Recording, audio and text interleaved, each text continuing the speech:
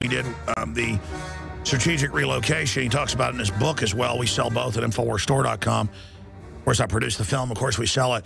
Uh, but, you know, he, he got into how they're going to do that more and more as a tool of control.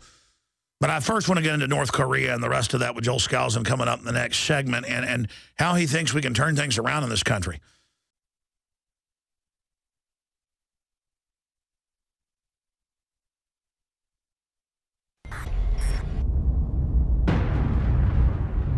They fled from tyranny. Your oppressions planted them in America. And yet, actuated by principles of true English liberty, they met all hardships with pleasure compared with those they suffered in their own country from the hands of those that should have been their friends. Men whose behavior on many occasions has caused the blood of those sons of liberty to recoil within them. I know not what course others meet, but as for me, give me liberty, liberty. or give me death. Believe me, remember, I this day told you so. That same spirit of freedom which actuated that people at first will accompany them still. But a people jealous of their liberties Liberty. and who will vindicate them if ever they should be violated. Sons of liberty, Sons of liberty, sons of liberty, liberty. Is life so dear, or peace so sweet, as to be purchased at the price of chains and slavery? Forbid it, Almighty God. Good news is though something has happened in the motorcade blues. Something, I repeat, has happened in the motorcade blues. Who controls the past controls the future. Who controls the present controls the past. The death of bin Laden marks the most significant achievement to date in our nation's effort to defeat Al Qaeda. All you got to do is start looking around, start thinking for yourself, start investigating things, and you will see it all right there. So you have the power. Humanity has the power. We have the power. Do you want to fight? You better believe you got one. Let us never tolerate outrageous conspiracy theories. As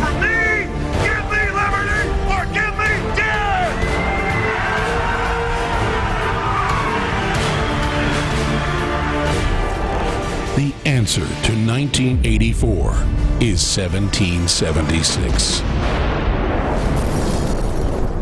It's Friday, March 15th. I'm Paul Joseph Watson. This is InfoWars Nightly News. Coming up on the show. Tonight, as an Army colonel warns of the rise of the machines, we look at the kind of machines DARPA wants to create. Then, using the power of storytelling in the InfoWars, a short film premiere.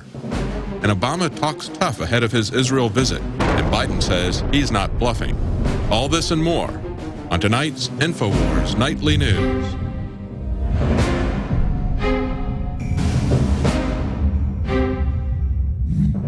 Top story tonight. New drone could snatch humans off the street. This is out of Infowars.com. A new flying drone developed by researchers at the University of Pennsylvania could one day be used to snatch humans off the street. Justin Thomas and his colleagues at the GRASP Lab have produced an avian inspired claw drone that mimics the way an eagle uses its talons to grab a fish out of the ocean. And we've got a video of this thing in action, which you can see now. And obviously, when we talk about this being used to snatch people off the street, we're talking about a much larger model based on the same technology.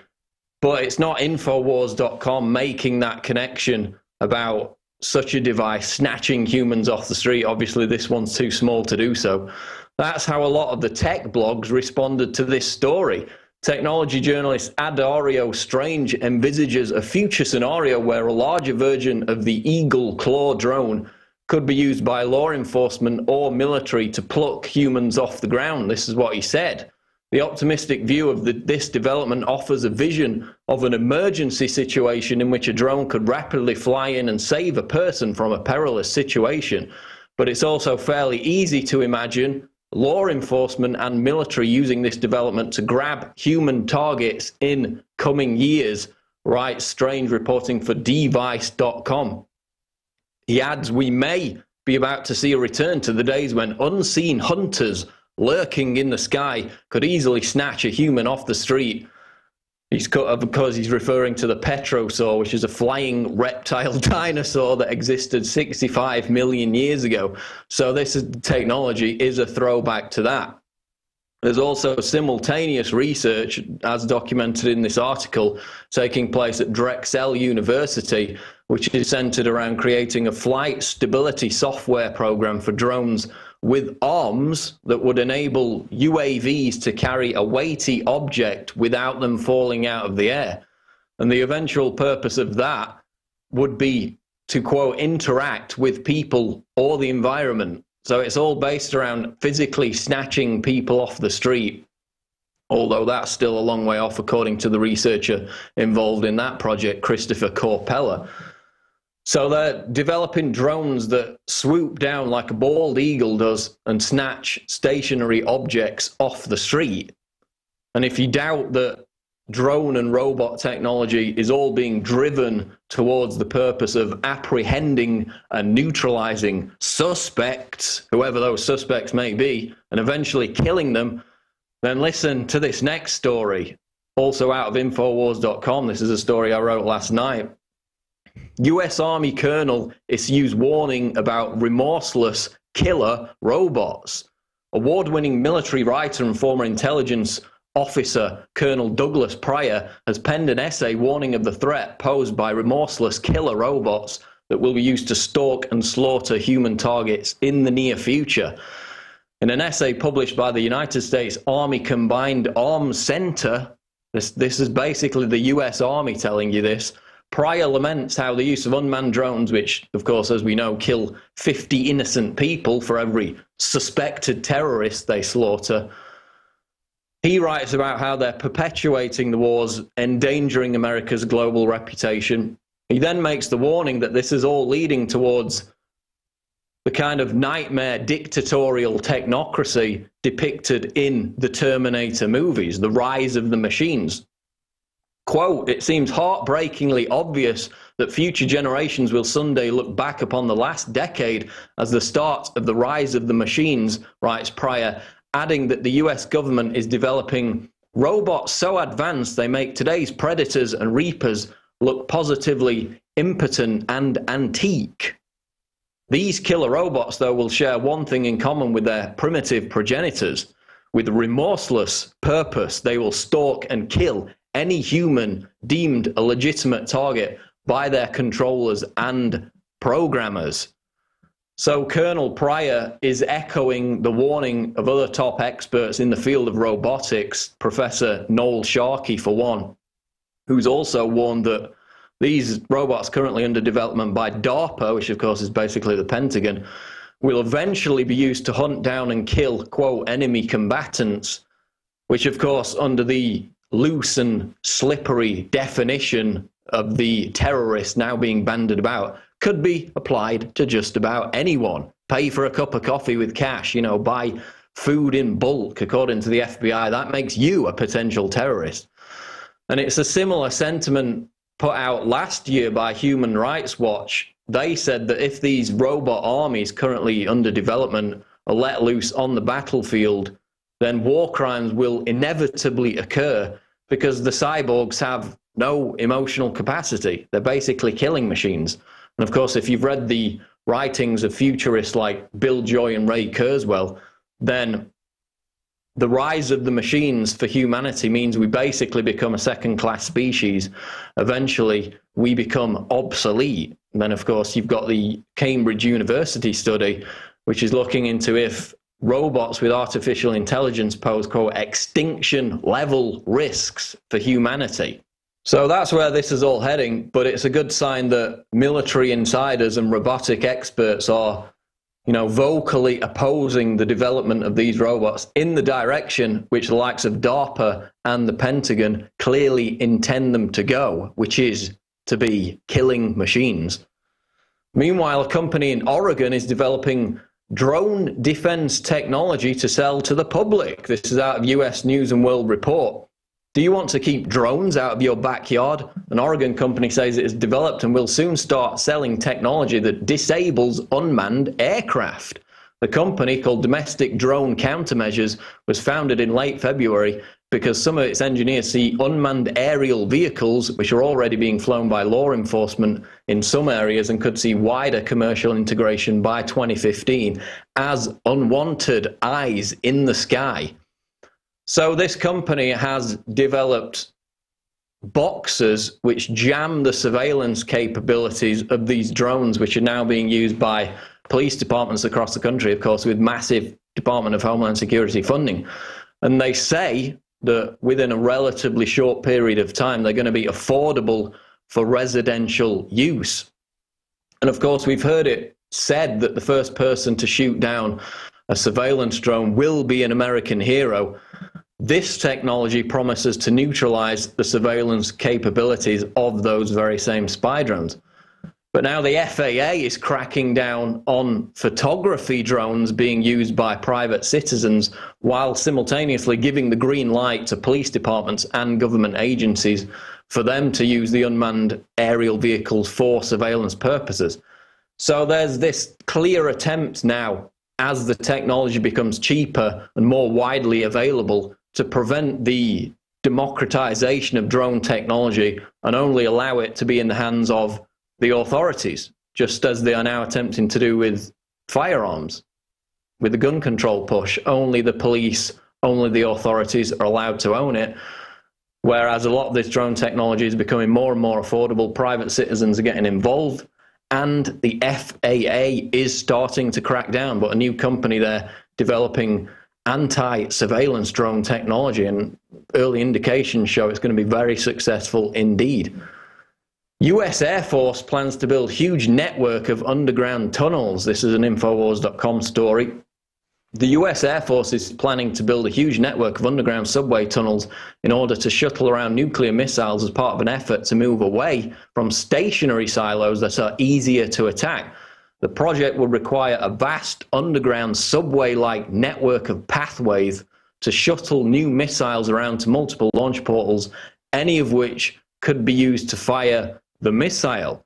Launch portals would be stationed at regular intervals along the subway, allowing the unmanned transponders to be raised up and the missile to be fired in a doomsday scenario. Each tunnel would be dedicated to one single missile and launch system. So if you thought the threat of nuclear war ended with the Cold War, then think again.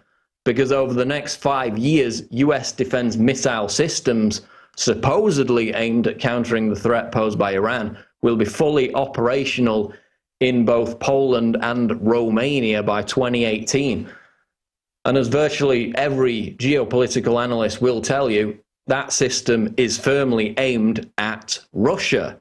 And indeed, Vladimir Kozin, a leading researcher with the Kremlin affiliated Russian Institute of Strategic Studies, recently asked why, quote, the US Air Force completed building new underground warehouses at 13 air bases in six NATO member countries to store precision nuclear air bombs. The only purpose of the US missile defense equipment deployed in Europe is to destroy Russian intercontinental ballistic missiles, he added. So you've got the bear bombers continually flying near American airspace. That happened again couple of weeks ago, they were intercepted over the island of Guam, the US controlled island of Guam.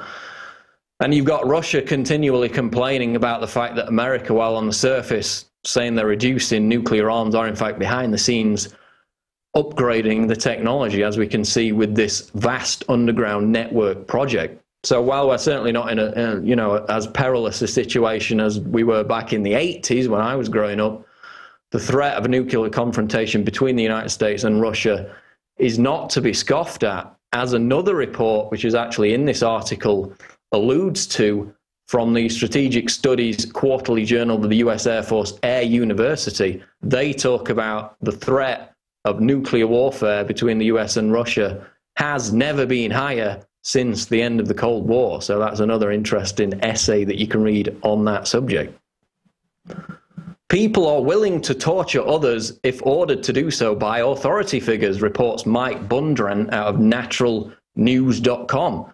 New scientific evidence of the golden rule goes far beyond the usual assumptions and suggests that if you treat others with disdain, you not only suffer, but activate the same neurology as physical pain. Richard Ryan, co-author of, the, of a new University of Rochester study, says, quote, this study shows that when people bend to pressure to ex- exclude others, they also pay a steep personal cost. Their distress is different from the person excluded, but no less intense. So, what's the golden rule? Well, it's basically treat others as you wish to be treated. And the headline refers to the Milgram experiment, which took place in the 70s, where it was discovered that people who were ordered to inflict torture on others in the form of electric shocks to the point of simulated death, they were told that this voltage is going to kill them. 65% of people involved in the study did so. They went into this experiment expecting around 3% to comply with the order to deliver torture in the form of an electric shock that would kill somebody. Turns out it was 65% went ahead and did it. If, of course, ordered to do so by an authority figure under controlled circumstances. So, what's the point of the article? Talking about the golden rule, treating others as you wish to be treated. Well, it refers to the work of another psychiatrist called Edmund Bergler, who in his studies proved that people actually take unconscious pain in inflicting trauma, whether it be physical or, or, emotional, on other people, which brings the Milgram experiment into context. It's called psychic masochism. And that's why it trumps the golden rule of treat others as you wish to be treated, because it's a selfish means of deriving pleasure, masochistic satisfaction, as it were. And I think when I was reading this article, it really struck home that this goes right to the heart of why, in today's society, where you know culture continually titillates our selfish tendencies, uh, tries to make us be amoral, not caring about other people, selfish. It goes to the heart of why people's personal relationships are permanently dysfunctional, why people don't seem to treat each other with respect, why people can walk past a little toddler that's just been hit by a car that's lying there on the side of the road dying. There's this disconnect from human emotion. And of course, if you extrapolate out to the political level, you can get an insight into the motivation behind the evil that people in positions of power continually perpetrate. So perhaps a better way of trying to enforce this golden rule, treat others as you wish to be treated, is this idea of treating others as if they were you, but living another life. And the studies prove that if you're actually nice to people, if you try to be nice to people, you'll personally be happier and more emotionally stable. And that's what this latest scientific research detailed in this article points to. So it's basically a win win. It's about reinforcing the golden rule treat others as you wish to be treated. Now, health news is this toxic chemical hiding in your toothpaste? Reports Dr. Mark Burhenne out of naturalsociety.com. And no, it's, it's not the obvious culprit that you're thinking of. It's not sodium fluoride. We're talking about sodium lauryl sulfate. Quote, say that again and I'll wash your mouth out with soap. Did you ever get this threat from your parents as a kid if you used foul language? The irony is you're likely already washing your mouth out with soap on a twice daily basis. How is that possible? A compound called SLS or sodium lauryl sulfate lurks not just in your toothpaste, but almost all products coming into contact with your skin, scalp, and eyes, including makeup, hairsprays, lipstick, sunscreen, toothpaste, laundry detergent, conditioner, perfumes, and shampoo. Sodium lauryl sulfate is everywhere and it's not doing good things for our health basically what it is the froth in toothpaste the thing that makes it frothy is sodium lauryl sulfate. The true secret about brushing your teeth is you, basically you can use anything and it's not going to seriously damage your teeth. Back 150 years ago they used coal to brush their teeth. There's a lot of people now there's a whole movement of people who don't use any toothpaste whatsoever but this article links to a Japanese peer reviewed study which found that rats who were administered sodium lauryl sulfate were more likely to develop colon cancer than a separate control group of rats uh, that were just administered a different substance. So there's a clear link to cancer, not to mention sodium fluoride, of course. This stuff is carcinogenous, basically. And the problem is that it's in even a lot of organic fluoride free toothpaste. There was a toothpaste called Euthymol that I was using for years. Of course, it was fluoride free, but it had sodium lauryl sulfate in it. So you were trading off one thing for another. So you really need to check for this SLS. It's called sodium lauryl sulfate. And if it's in there, switch brands. I use this brand, which is Aloe Dent. You can probably get something similar in America. And actually, Tom of Maine, Tom's of Maine does a toothpaste that doesn't contain sodium lauryl sulfate. But be careful because although they do non fluoridated toothpaste, they also sell fluoridated toxic waste toothpaste. So if you're getting a Tom's of Maine, be sure to get the non fluoride version, which also does not contain sodium lauryl sulfate. Or you could just buy Colgate or Crest or whatever if you want to reduce your IQ, IQ and get cancer, which of course uh, a lot of people seem to want to do these days. They want to remain stupid and ignorant. But if you follow the advice in this article, not only do you get rid of the sodium fluoride, you also get rid of sodium lauryl sulfate. Global news, Kurt Nimmo, Infowars.com reports Obama signals Iran attack ahead of Israel visit. Disregarding earlier statements made by US and Israeli intelligence, Obama told Israeli Channel 2 that it will take Iran a year to develop a nuclear weapon.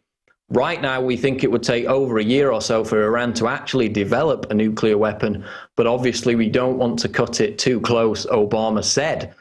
The International Atomic Energy Agency, the Pentagon, leaders in the Israeli military, and intelligence agencies in the United States and Israel have all concluded that Iran does not have a nuclear weapons program and is not building a nuclear weapon and has yet to decide if it will build one.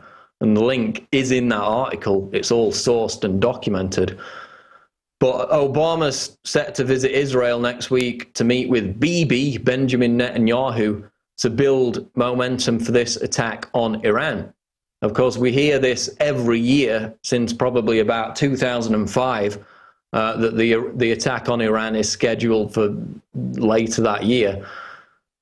But they never seem to get their ducks in a row. Although this year we are hearing a lot of talk out of Bilderberg members and other elitists who have signaled that such an attack is on the agenda for the coming months. But what's absurdly ironic, which I wrote about a few days ago with Obama visiting Israel, is that Israel have actually been forced to install a brand new Iron Dome missile defense system at Ben Gurion Airport to protect Air Force One as it lands with Obama, to protect it from the very same terrorists on the Syrian border that Obama is funding in the effort to topple Bashar al Assad. So they've had to install this expensive missile defense system to, to defend against the very same terrorists to which Obama is handing hundreds of millions of dollars in Americans' taxpayer money. Of course, the very same insurgents are also being trained, according to Der Spiegel, by US special forces in Jordan. So they're, they're protecting Obama against the same terrorists in Syria that he's currently supporting as he visits to build momentum for an, an, an attack on Iran. And of course, some of these same Al Qaeda groups MEK Prime amongst them, have been used in the past couple of years by the Israelis and the US to carry out bombings and assassinations in Iran in an effort to destabilize their government. So, again, using terrorists to achieve regime change while telling Americans that they need to be treated like slaves, surveilled, harassed, in the name of protecting the nation from the very same terrorists. That's going to do it for the news, but stick around after the break. David Knight sits down to talk to a couple of independent filmmakers who created an exciting new movie about liberty, and we're going to premiere their film on InfoWars. You're watching InfoWars Nightly News. Stay tuned. I'm Darrin McBreen, and these are some of the new items that are available now at InfoWarsShop.com. Alert the public to Obama's blatant abuse of power with the new Obama t shirt. Obama's Joker face on the front and come and take it on the back. It's time to publicly call him out for what he is a tyrant. Defend the Second Amendment with our top seller Come and Take It t shirts. And look at that women's cut tank tops and t shirts now available. Nice hat. Plus the Don't Tread on Me flag. And now you can become a micro distributor of the InfoWars magazine. Plus, get your own copy delivered right to your door each and every month. And if you're tired, like I am, of you and your family being exposed to polluted drinking water, get the Pro One high performance water filter. It gets rid of all pathogenic bacteria, cyst, fluoride, heavy metals, and numerous other contaminants. So join the revolution at InfoWarsShop.com. InfoWars Magazine is more than just our answer to the internet kill switch. We're also going back to the roots of this country. When our founders, for a decade before 1776, known as the pamphleteers, with hundreds of little printing presses in every colony, got out the real news, the real information, and countered the system. This is tailor designed with the truth to wake up your friends and family. This is the 21st century version of the pamphleteers. So get them at InfoWarsShop.com or InfoWarsStore.com. Sign up and buy them in bulk sign up and be a micro distributor uh, for a full year to buy them in bulk and get one of the newsstands added, or sign up and get 12 issues delivered to your door or give a gift subscription. Whatever you do, be part of the fight. And I want to salute and thank all of you that are subscribers and are getting the magazine in bulk or who have ever come to InfoWarsStore.com and bought any of our products because we are supported by patriots and liberty lovers like you. We couldn't do it without you.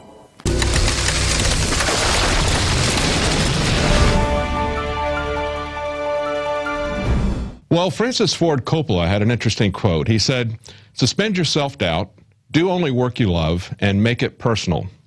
Well, that could apply to any business that you're in or any uh, aspect of life, but it especially applies to filmmakers. And we've got a couple of filmmakers here who did just exactly that. Um, they suspended their self doubt and produced a uh, dramatic film as their first time effort. Uh, they did it about something that they are passionate about, which is uh, an issue, euthanasia.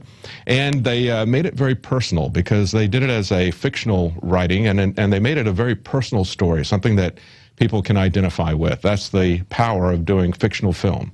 Welcome. We've got uh, Karen and Michael Iacobbo, is that correct? Yes. Okay, great. And uh, this is your first film. I thought it was very good. We're actually going to preview it uh, right after the interview, and we're going to let you tell us a little bit about the film. But I want to talk to you a little bit about uh, why you chose to do a fictional film your first time out. That's quite a quite a lot to bite off.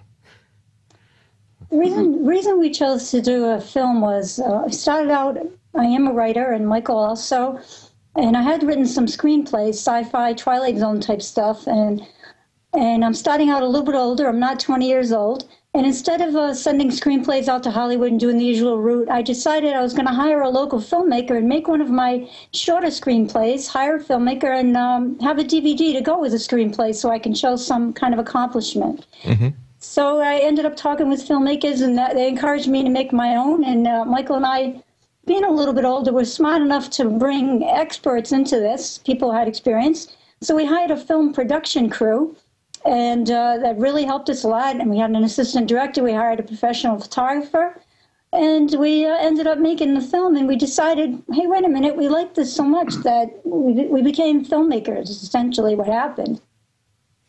Okay, that's great. Yeah, when when you did it, like I said, it's a, a, very short film. It's only about 20 minutes long, but I thought the production values were very good. That that makes sense. I thought you were doing everything from the first time out, but that's that's super that you were smart enough to do that. You know, when we look at the info war, we, we've got a lot of different aspects. So, you know, what we're doing here, if you take the war analogy, we're, we're looking at uh, the news, and uh, and that's really kind of like an intelligence gathering. That's something that you've got to have, and and uh, but when we do a documentary, uh, the way we do it here at InfoWars, we're typically filling in the details that people can't get on a daily basis, kind of pulling the story together, giving the reference to the documents and everything. But what you're doing here is taking it to the next level, and that is really going for people's hearts. Uh, if you're a good storyteller, and that's the talents that you really bring to this, uh, story has a lot of power. It's the way Jesus communicated. It's the way uh, people, time before, and really before the printed uh, word got out, that's the way people had their most effective communication. And uh, and and that's what's so powerful about uh, fictional stuff. I really love what you what you did with this. Thank you so very much. You're very, very kind. And, and one of the things we want to show now, this is not an entry, I should say, into Operation Paul Revere, uh, because this is something that was uh, done earlier. Uh, you're working on another project right now that you may have done in time. But uh, this is a good example for people out there who want to get into the film contest. This is a good example of uh, something that hits all the, the points that we're looking for. Um, it even has uh, something that people have been talking about a lot, and that's, uh, you know, we said, uh, had a lot of questions about, we asked people to do liberty placement, you know, have InfoWars in it. You work that in in a very subtle way. Tell us about that. Well, our story has some protesters, uh, protesting groups actually on two sides of an issue. And we had those on the uh, right side of the issue basically carrying a sign that said, Infowars.com, the truth. Mm-hmm, mm-hmm. You also had somebody, I think, wearing a T-shirt, that sort of thing. So it was very subtle. It wasn't a big commercial. It wasn't in your face, but it was something that was there, and that's essentially what Alex is talking about. Uh, but it was something, and I guess one of the reasons why we're we, we've got you here and we wanted to show this, it was something that was totally original piece of work. Uh, something that was spot on uh, about an issue, a really fresh take on it. And uh, you mentioned uh, Twilight Zone. I mean, it, it does have that little bit of a plot twist to it. It yeah, was great. in fact, it's, it's the uh, length. The length. It's the length of the original um, series, 22 minutes. When you subtract out the commercials, the original Twilight Zone was about 22 minutes. So it's our way of, um, you know, paying respect to the TV series to make it exactly 22 minutes, which was not too easy, but we did it. Yeah, it's uh, yeah. There's a lot of things uh, that are important about this, and, and you know, for people who are looking to uh, to help win the info war, people who uh, want to do things to turn hearts and minds, people who want to make money, make a living out of this, and follow their passion. You know, it, it's what you did with a fictional uh, account is is very good, very compelling. But you know, even if people are doing a documentary, they need to think about that as if it's a story. And you know, one of the best examples of that, I think, are, are films by Errol Morris. Uh, the first one that he did that got people's attention was A Thin Blue Line, and basically uh, it was a, it got a guy off of death row uh, here in Texas, um, and he finished up, got an Academy Award with A Fog of War. That was an interview that he had for a long time with uh, Robert McNamara. But in each of his cases, uh, he's interviewing him, and uh, and, this this uh, the thin blue line essentially was an investigation, and it was an unfolding story. And so, although it was a uh, a documentary, he actually filmed scenes uh, for the movie uh, that were kind of fictional reenactments of different witnesses uh, recalling what they had seen and that sort of thing. So it was very interesting uh, the way that he did it. And in each case, it kind of unfolded as a mystery. This guy had originally, before he had been uh, a filmmaker, he had been a private investigator. So everybody brings their different skills. You know, you were writers before you came into this. Uh, Alfred Hitchcock was an engineer. You know, people don't necessarily start out in film school who do a good job at, at film. This was our film school, that's for sure, making a film. Yeah. Yes, it took up quite a bit of our lives for about, uh, say, seven or eight months. Um, everything pre production, the actual filming, which took four or five days. Then you have post production, where you have the editing, the music, and on and on. So it was very, very time consuming, but it was worth it. Yeah, that's true. Now, you subcontracted this out to various professionals, and that's a great way to do it. Uh, for people who want to learn one aspect of it, one of the things that has really changed that people need to be aware of, they're making documentaries or films or even their own music video, is within the last 10 years, the price of production has really come down. It used to be that every piece of equipment was uh, six figures. You know, you want to get in into editing or uh, colorization, each of those particular pieces of equipment were incredibly expensive, over $100,000. Now, in the last 10 years, it's all come down. The real cost is the cost of learning how to use it, you know, learning how to use that software. And the even greater cost is understanding you know how you know bringing what you're bringing to it the storytelling capability you know investing the time and seeing how to tell a good story uh, how to do a good edit how to compose your shots. Because even within the last five years the last component that came into this was the camera and in the last five years with uh, HD DSLRs, it's gotten to the point where if you invest some money in some really good lenses, the camera body doesn't really cost that much. And those lenses are going to carry forward with you. So I just want to offer a word of encouragement to other people that are out there that, uh, you know, this is a, a, very important thing in the info war. It's a very important thing to, to uh, be able to communicate to people in different ways, whether it's a, a documentary, a documentary story, or whether it's a full out fictional story and uh, really encourage people. That that's that's what you found. Oh, absolutely, that makes all the difference. You mm-hmm. have to know what you're doing, or bring in people with you that know what they're doing, and you have to be able to work with people of all kinds. Uh, everything from volunteer. We had interns from a film school that helped us greatly. We had we had actors of varying levels of uh, experience, and uh, we work with, like we mentioned, professional photographer, and everybody has their own way of working because they are all uh, knowing what they're doing. Right, and that and that's the key: knowing what your strengths are and knowing what you can't do, hiring out what you can't do. You know, you came in with a really strong writing background. Uh, somebody else might want to collaborate if they've got uh, other technical capabilities, whether it's editing or filming or something like that. They might get with somebody, uh, collaborate with somebody, or hire someone. So that's a key thing: knowing where you need the help getting professional help in those areas, but you're going to be bringing something to the table in terms of your talent. And that, that's true of any kind of business. In any kind of business, you got to you're bringing something in, but you got to hire somebody to fill in the gaps of your experience. Yes, and what's what's happened from this is we've developed our own company, and we're planning on making a feature film, and we're planning on going on with this. We we want to make films like sci-fi movies uh, that have been made in the past that have a very strong underlying message to them of, about human life and human worth and uh, other types of films that we we really are making films for the Infowars type audience mm-hmm. that will understand films on a deeper level. And that's the that's the last thing I want to cover too, and that is the audience. That's what we're trying to do. We, we've got a large audience with Infowars. We've got people who care about this issue, and if people haven't noticed by now, Hollywood is not going to make the films that we want to see. They're not going to make that's the right. films about the issues that are important to us and covered in the way that we want to see it we have to do that ourselves. We have to learn how to do it that ourselves. And there's money to be made there. People can make a living doing this.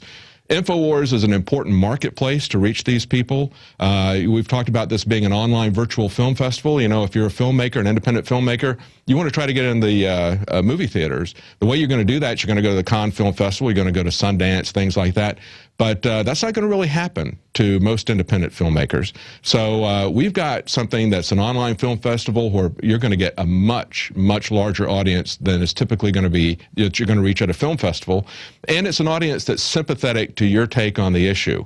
And uh, and I think beyond that, uh, Infowars is is uh, we've already uh, helped people, a lot of people, uh, sell and market their own uh, products, their own uh, movies and documentaries and that sort of thing. I see Infowars developing as kind of a marketplace like iTunes is for applications.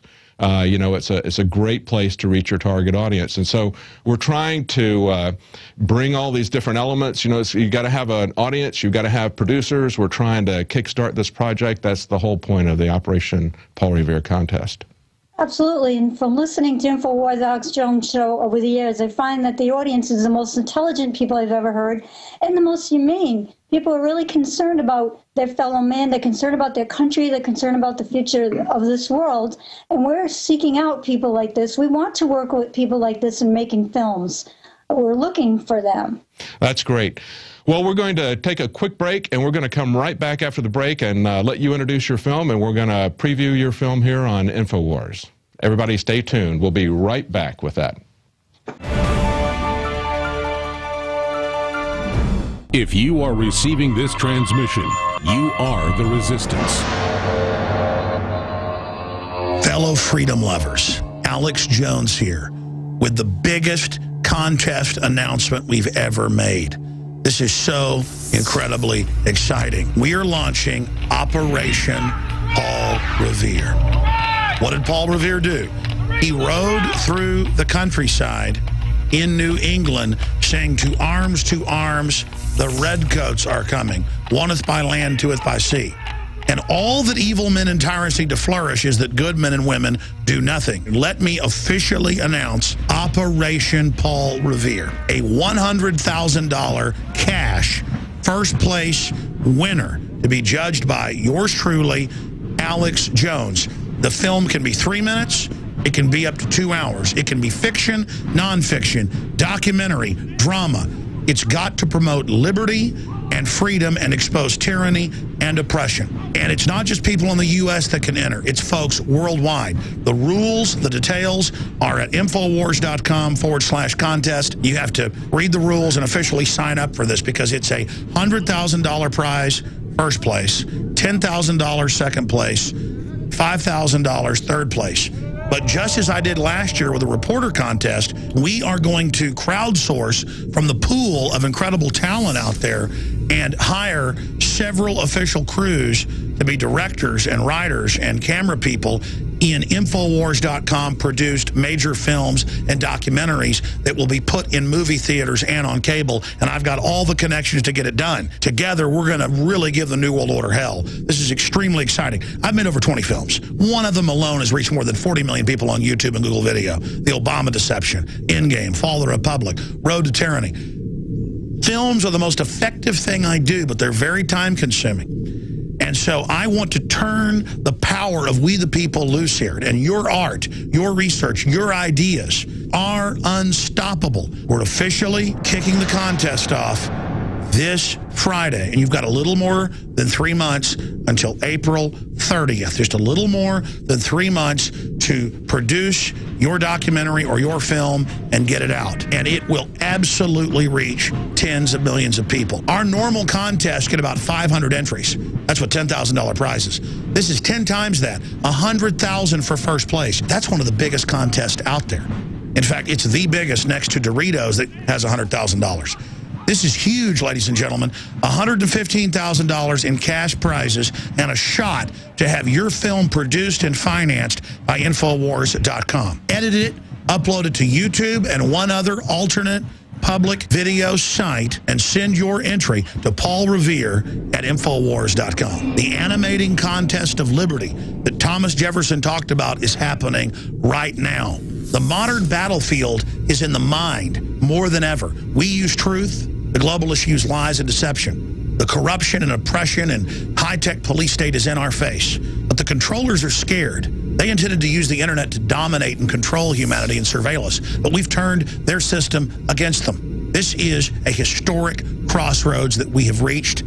And I ask you to ride in the year 2013, just as one of the founders of this republic did back in 1775. I'm calling you to arms in the info war because the pen and the video camera is mightier than the sword. Let's go in there and rescue humanity and awaken them and set brush fires in the minds of men and women everywhere. Be part of this contest. You've got three months. Put your hat in the ring. Be part of the solution to the corruption and oppression. Be part of the resistance to tyranny. We're looking for the Paul Reveres that will drive a stake through the New World Order's wicked heart.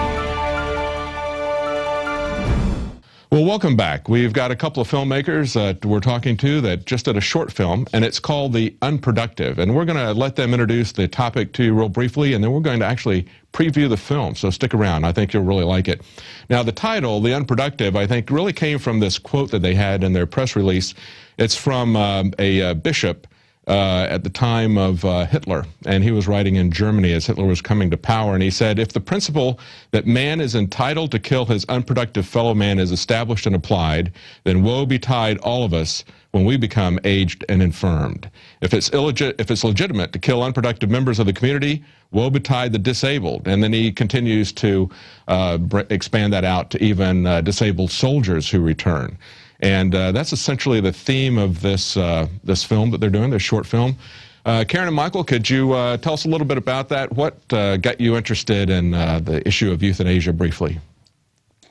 What got me interested in the issue was the 2005 saga of Terri Schindler Schiavo. I was watching that like everybody else, and um, it was talked about that the woman was brain dead or, or, like she was terminally ill. Yet I saw her on that video where her eyes followed the balloon, and I thought to myself, my goodness, this person looks alert. Her eyes are following the balloon. And I started, I was listening to InfoWars, and InfoWars gave an entirely different perspective on the whole thing that she was not brain dead, mm-hmm. and she was not terminally ill. And so I started thinking about this with a journalistic background like Michael also has. And I said, it's the way the issue is being framed. And I saw people around me, including good Catholics who, you know, do not believe in killing people who are not brain dead, for example. And um, I saw them reacting because they had let go of loved ones, and which is a very sad situation, that actually were terminally ill. And their pain was being reawakened by this. And I would, I would say to them, well, that's not what's happening. And other people would say, no, no, this lady is actually not brain dead. So I, I got thinking about it, and I this is where the story evolved from the unproductive. And actually, it wasn't until we were shooting the film that I stumbled upon that quote from Bishop Galen, because I looked up the unproductive one day to see if anybody was using uh, the title, and there came Bishop Galen out of the past. I'd never even heard of the gentleman before. Mm-hmm. Yeah, uh, that was just a horrific uh, situation. I I just could not believe what I was seeing as it unfolded. Seeing people uh, get arrested for trying to give her water. I mean, you know, what kind of a country are we creating here? And why wouldn't a governor or a president, you know, Governor Bush or President Bush? I, I totally lost uh, any any modicum of respect uh, for the Bushes that could have possibly been there when I saw that. I mean, there was plenty to, to be worried about about the Bushes before that, but I mean, I just could not understand how the Christian community in general, you know, Catholic, evangelical, whatever, I, I just could not understand how they could see someone who would not give a person a cup of cold water as a Christian. I mean, it just it just amazed me. But you really hit the nail on the head with this picture, and I really appreciate you doing this. We're very proud to uh, to preview this, and we're going to go to that right now. Thank you so much for your work on this, and we look forward to seeing what you produce next. Our thank pleasure, you, and thank you. Thank, thank you. Bye-bye. Well, we're going to have that for you right after uh, uh, just a couple of minutes. Uh, just wanted to tell you about Prison Planet TV. Uh, Karen and Michael said that they've been uh, Prison Planet TV subscribers for quite a time. Uh, you can see all of Alex's documentaries there. It's a way to help support our operation. Uh, any operation needs money to run. It helps to pay for our bandwidth. And speaking of bandwidth, you can have up to 10 people at a time can uh, view this. Uh, you can hand that out to other friends and family. help to wake them up. Well, that's it for tonight's news. We're going to go now to the movie, and we'll be back tomorrow night at 7 Central, 8 p.m. Eastern.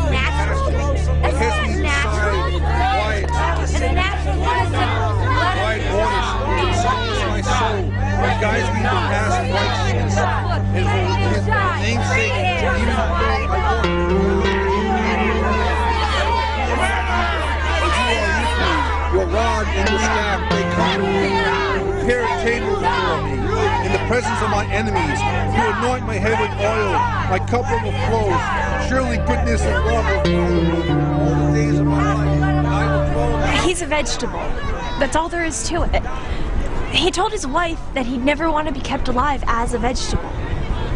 He deserves to have his wish respected.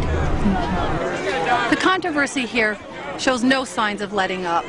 The tension here is high as both sides await word of the impending death of the patient. Live from County General Hospital for TV5, I'm Belinda Marciano. Back to you, Rick.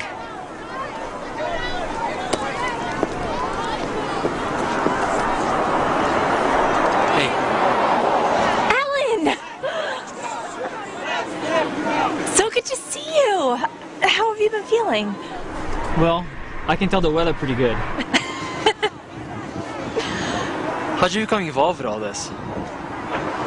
Someone's got to do something. Just in time. We could really use your help. Vegetable?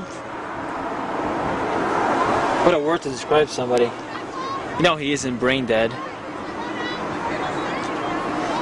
Wendy, have you even looked at what's really going on here? I have, Alan. And I- I'm sorry if you just don't get it.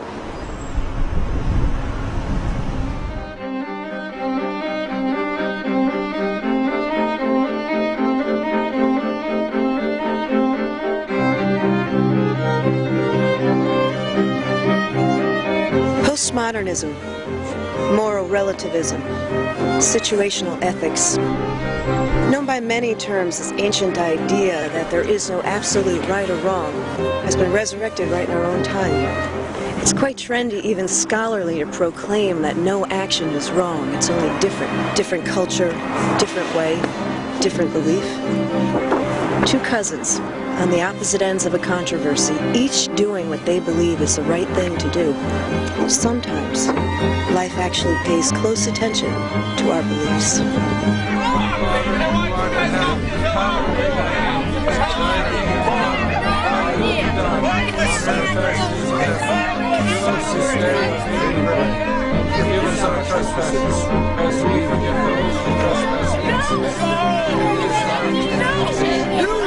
Did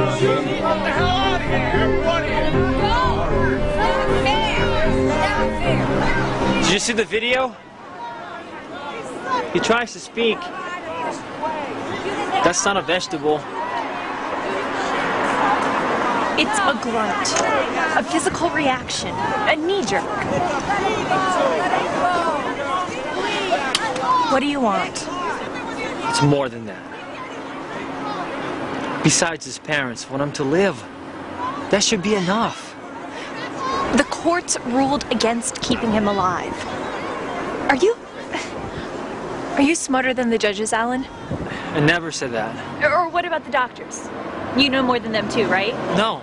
If you just watched the interview with the man's parents and brother and sister, it's obvious they are too attached to him and don't want to face reality. Him die in dignity.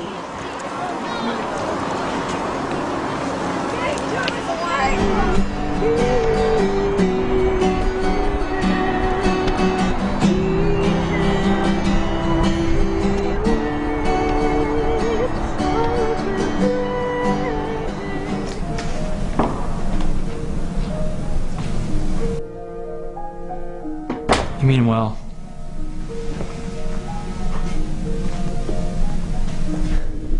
You have a good heart. You always did. I thought. I thought that you, with all your causes, that you'd want to help me with this. I guess not.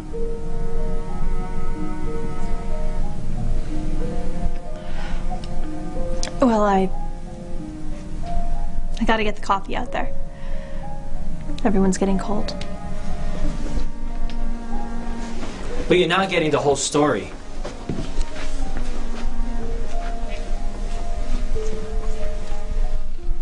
Doctors who have a different opinion are not being put on TV. And TV reporters don't care about him or his family.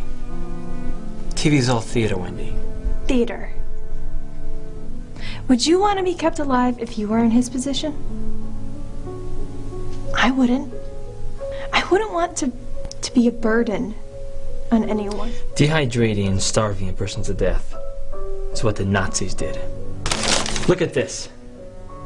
Facts, cause not fantasy.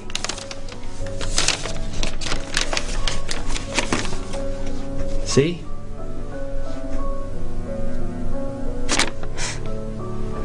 This is from a conspiracy website. Anyone who isn't brain dead knows that. Conspiracy? Is that your word for the truth? you know, truth that you can bear to hear. That man in there has a functioning brain. That's another extreme opinion. Do you actually think that I wouldn't know if he wasn't a vegetable? My mother was like that man is now. I remember what happened to Auntie. She was terminal. I had to take my mother off the machine. Wendy, Wendy, I'm so sorry. What happened to your mom? It's not the same as this. You don't know what that was like. You never had to go through what I went through. You went through a lot. But what's happening to the men in there has nothing to do with your mother. The church has even come out in support of him so he can live. Doesn't that mean anything?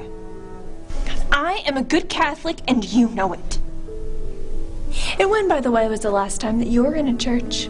This isn't about me. He is aware of what's going on. He has a brain injury. That's all. He's disabled. He's not brain dead. He could have therapy. He could regain full brain function. That's a possibility, you if know. If that was true. We're not children anymore. Believing everything we're told. God. The control corporate media has has an agenda.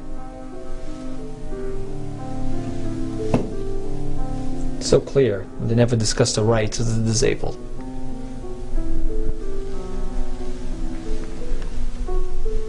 Having that does not make you an expert on the disabled. So why don't you just keep your paranoid delusions to yourself? Okay? I have work to do here.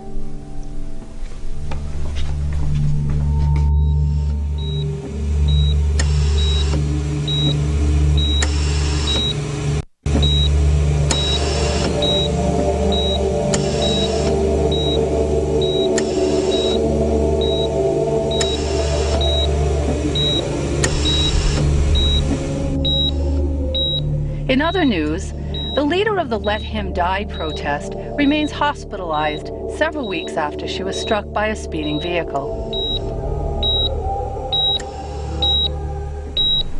How well are you holding up, Alan?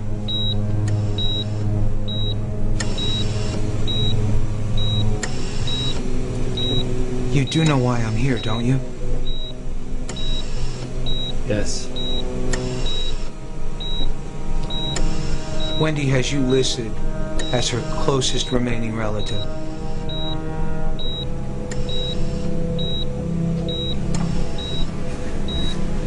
No. I can't.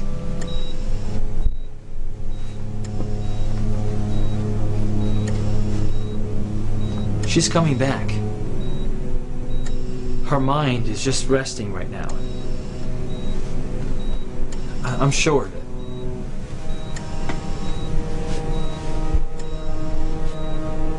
The accident damaged her brain. She's been designated persistent vegetative. She's not coming back.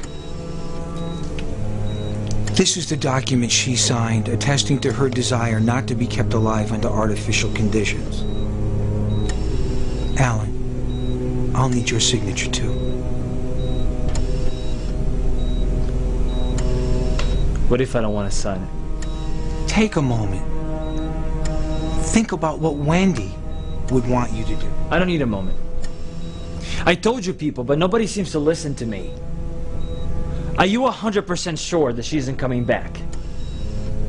There are errors in these cases. Aren't there? No, not that I know of. Have you seen the counselors here on staff? I don't need your counselors. Her heart. Her heart's still beating. She's still a human being. She has a soul. My cousin's brain is not her soul. The only reason she is alive is because of this technology. Her brain is just injured, and, and this is why she can't live on her own. I mean, what if you did something different? Alan. There's got to be other options here. Alan, she's dead. She's brain dead. Her brain is gone. You're doing the right thing. It's what she wanted. Terminating a life can be, well, can be a blessing. And besides, you, you'll be giving this bed to someone who can live a productive life.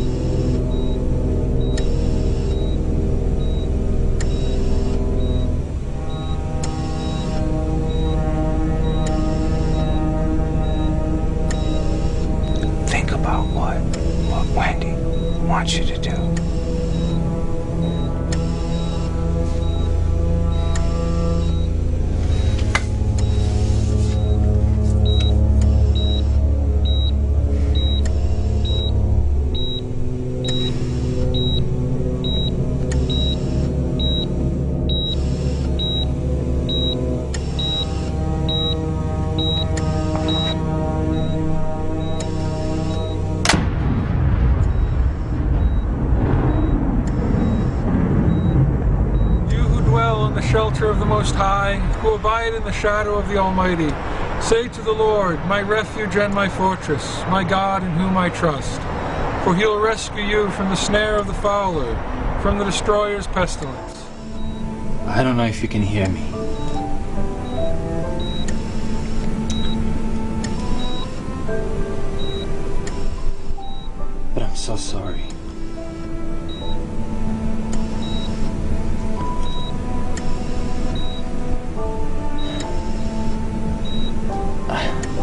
Guess, I was wrong. People shouldn't be kept alive this way.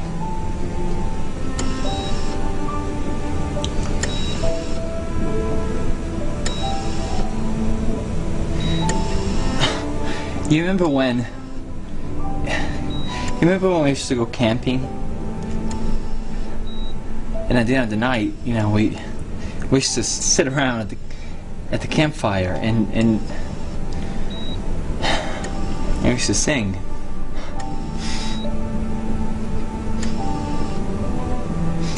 You know, I haven't told you in a long time, but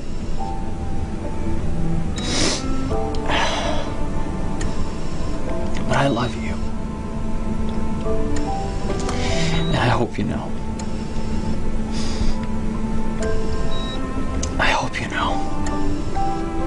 I hope you know that I did this for you.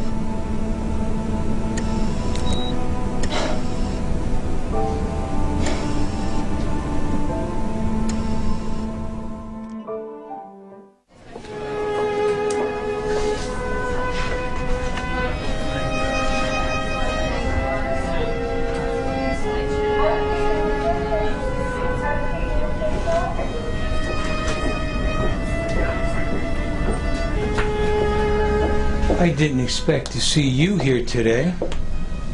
How are you, Bernadette? Glad the media circus is over? Prescribing myself a stiff drink and two weeks in the Caribbean. And kudos to you, Doctor. We've exceeded quota this quarter. The unproductive do have their use.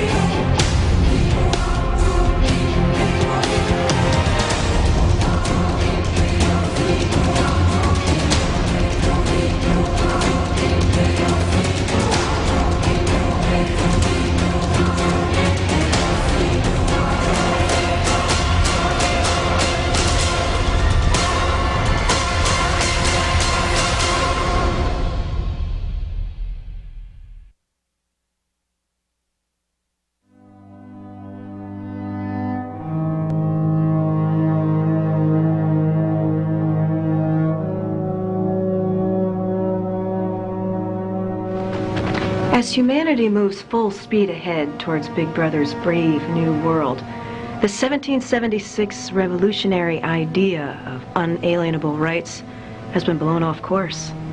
We are returning to the distant shores of ancient Rome and Babylon, where the difference between right and wrong is murky. Life is cheap, and organs can be so expensive.